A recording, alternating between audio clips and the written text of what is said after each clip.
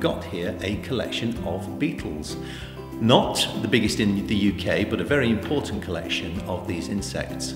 They are Victorian and they were collected by a local man called Mr. A.C. Bowdler, and he gave them to us a hundred years ago this year.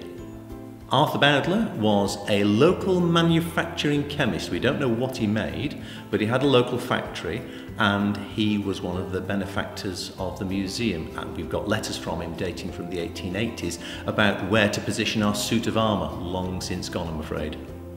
He, along with many people in the Victorian period, collected beetles.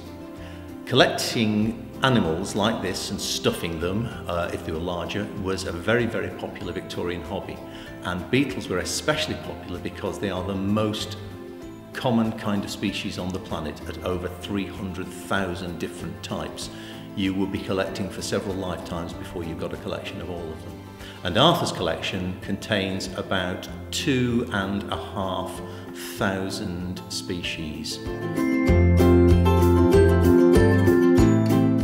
As to preservation, uh, you pop them in uh, a killing jar, almost certainly containing formaldehyde, which is very, very poisonous, kills the animal very, very quickly. The larger ones, apparently, you can pull the guts out because you don't want the things to decay, do you? Uh, but the bulk of them, they're just dry, you just dry them out and they become essentially beetle pasta. Collecting things like this becomes very, very popular in Victorian times and it becomes popular with all branches of society who've got a bit of money. Because collecting stuff like this, you've got to display it, you've got to acquire it, it's expensive. So this is your wealthy middle classes and upwards.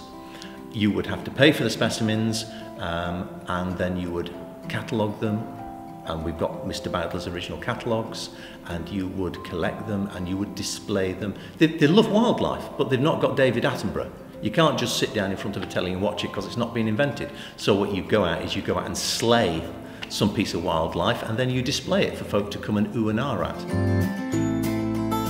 Victorians like to collect. I mean, it's it's the it's the male brain. This is collecting top trumps. It's my beetle's better than your beetle. I've got a cooler beetle than you have all that kind of stuff. You see it in men's orientated clubs today collecting stamps or whatever. It is the invertebrate equivalent of stamp collecting.